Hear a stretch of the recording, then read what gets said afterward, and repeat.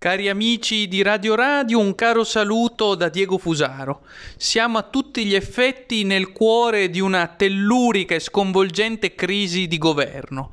Tale crisi, come ben sapete, è stata innescata dal tosco nichilista Matteo Renzi, il quale ancora una volta, pur avendo il suo partito politico un peso del tutto irrilevante, riesce in ogni caso a rappresentare, come usa dire, l'ago della bilancia a tal punto che adesso è riuscito de facto a mettere in crisi il governo stesso e a porre l'Italia tutta in una condizione periclitante sul piano politico. Prevedo che in sostanza si delineino tre possibili scenari, due dei quali possibili nell'attuazione, uno possibile solo nella teoria e come subito dirò impossibile nell'attuazione. Il primo scenario è quello che prevede il cosiddetto Conte Ter, il terzo governo Conte. Eh, abbiamo avuto, come sapete, un primo governo Conte con il governo giallo-verde, il governo che vedeva in Conte l'avvocato del popolo. Il secondo governo Conte, che ora si sta letteralmente sgretolando, è il, go- il governo giallo-fucsia, quello che ha visto in Conte, con una metamorfosi neokafkiana, l'avvocato non più del popolo, bensì dell'opposto, dei mercati speculativi apolidi e degli euroinomani di Bruxelles, l'interesse cosmopolitico delle classi dominanti.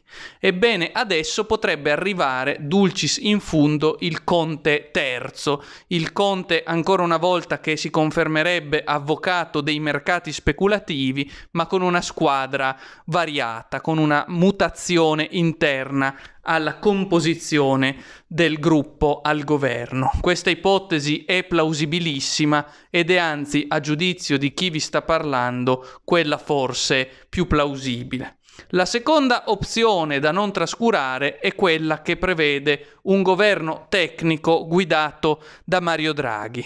Da tempo del resto si favella di questa opzione, da tempo, come sappiamo, Mario Draghi è appostato eh, pronto a eh, entrare in campo in Italia e a tutelare, come già da tempo abbiamo sostenuto, non già gli interessi dell'Italia in Europa, bensì gli interessi dell'Europa e della Banca Centrale in Italia.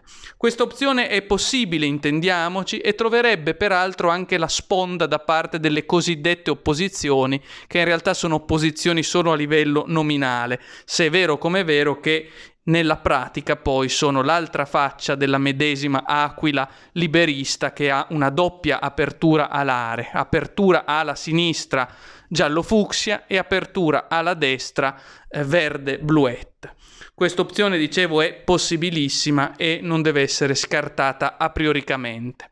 La terza opzione, che è quella che mai vedremo realizzarsi nei prossimi mesi, riguarderebbe le votazioni, ossia il ritorno del popolo protagonista che sceglie concretamente come risolvere la crisi in corso e a chi consegnare il potere del paese. Questa opzione, badate, non si concretizzerà affatto a giudizio di chi vi sta parlando, anzi è la più improbabile nell'attuazione. Del resto già la eh, ciurma dei virologi televisivi superstar si adopera per dire che non è il caso di votare, eh, perché appunto vi è l'emergenza epidemiologica e dunque anche le normali procedure democratiche debbono rimanere sospese sine die. Questa opzione appunto è la più difficile, perché è quella che prevede la possibilità, sia pure vaga, di mutare gli assetti realmente esistenti ed è quindi quella, siatene certi, che più di tutte verrà contrastata unanimemente dalle forze dominanti.